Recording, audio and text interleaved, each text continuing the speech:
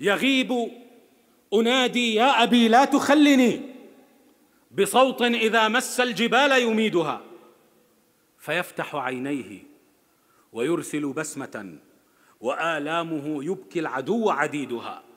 يؤشر للموت انتظر فيطيعه كما يأمر الجند الصغار عميدها.